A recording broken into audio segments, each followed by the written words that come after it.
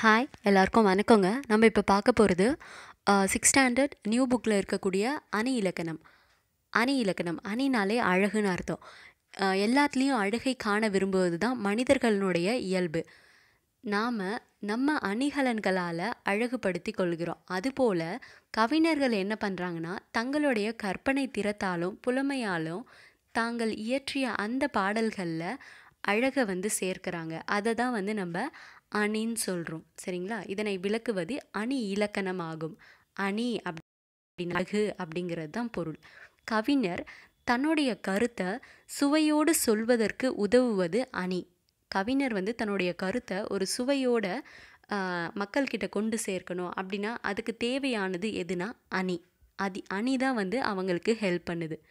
மருந்தை தேனில் கலந்து கொடுப்பது போல் கருத்துக்களை சுவைபட கூறுவது அணி. மருந்தை எப்படி நம்ம தேனில் கலந்து கொடுக்குறோமோ அதுபோல் கருத்துக்களை வந்து சுவைப்பட கூறுவது தான் அணி. முதல்ல நம்ம இயல்பு நவிர்ச்சி அணி இதை பார்க்கலாம். ஒரு பொருளினுடைய இயல்பை உள்ளது உள்ளபடியே அழகோடு கூறுறது தான் இயல்பு நவிர்ச்சி அணி. இயல்பு நவிர்ச்சி அணினா என்ன? ஒரு பொருளினுடைய இயல்பு சரிங்களா? ஒரு பொருளோட தன்மையை அந்த தன்மையை அந்த தன்மையாகவே கூறுறது சரிங்களா? உள்ளது உள்ளபடி எப்படியோ அது அப்படியே. சரிங்களா? உள்ளது உள்ளபடி அழகுடன் கூறுவது இயல்பு நவிர்ச்சி அணி. இதை வந்து தன்மை நவிர்ச்சி அணி அப்படின்னு சொல்லுவாங்க. ஏன்னா அந்த தன்மையை அப்படியே தானே நம்ம சொல்கிறோம் இயல்பாகவே சொல்கிறோம் எடுத்துக்காட்டு பாருங்கள் தோட்டத்தில் மேயுது வெள்ளை பசு அங்கே துள்ளி கொதிக்குது கன்றுக்குட்டி. அம்மா என்குது வெள்ளை பசு உடன் அண்டையில் ஓடுது கன்றுக்குட்டி. நாவால் நக்குது வெள்ளை பசு பாலை நன்றாய் குடிக்குது கன்றுக்குட்டி. இந்த பாடலில் கவிஞர் பசுவும் கன்றும் ஒன்றுடன் ஒன்று கொஞ்சி விளையாடுறத இயல்பாகவே எடுத்து கூறியிருக்காரு.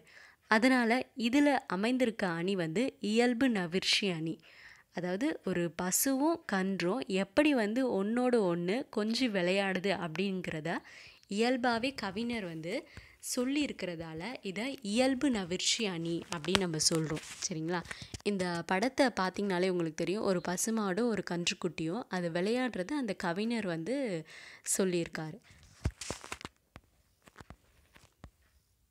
அடுத்தது உயர்வு நவிர்ச்சி அணி. இதில் வந்து ஒரு பொருளுடைய இயல்பை மிகைப்படுத்தி அதாவது இன்னும் அழகுபடுத்தி இன்னும் கொஞ்சம் உயர்வாக கூறுறது தான் உயர்வு நவிர்ச்சி அணி. உயர்வாக கூறுறது. சரிங்களா? இப்போ பாருங்கள் எடுத்துக்காட்டு. குளிர்நீரில் குளித்தால் கூதல் அடிக்குமென்று வெந்நீரில் குளித்தால் மேலே கருக்குமென்று ஆகாச கங்கை அனல் உரைக்குமென்று பாதாள கங்கையை பாடி அழைத்தார் உன் தாத்தா. அதாவது ஒரு தாய் வந்து தாலாட்டு பாடுறாங்க. குளிர் நீரில் குளித்தா கூதல் அடிக்கும் வெந்நீரில் குளித்தா மேலே கருக்கும் ஆகாச கங்கை அனல் உரைக்கும் பாதாள கங்கையை பாடி அழைச்சாரு உன்னுடைய தாத்தா அப்படின்னு ஒரு தாலாட்டு பாடல். இதில் வந்து உயர்வு நவிர்ச்சி அணி வந்து அமைஞ்சிருக்கு. ஒரு குழந்தைய குளிக்க வைக்கிறதுக்காக அந்த தாய் வந்து இந்த மாதிரி வந்து பாடியிருக்காங்க. இந்த இயல்பு நவிர்ச்சி அணி உயர்வு நவிர்ச்சி அணி இதுதான் சிக்ஸ் ஸ்டாண்டர்ட் தமிழ் புக்கில் கொடுத்துருந்த இலக்கண அணி இலக்கணத்துக்கான டாபிக் அடுத்து நம்ம டேர்ம் டூ சிக்ஸ் ஸ்டாண்டர்ட் பார்க்கலாம். இதோட டேர்ம் ஒன் சிக்ஸ் ஸ்டாண்டர்ட் முடிஞ்சிருச்சு. Thank you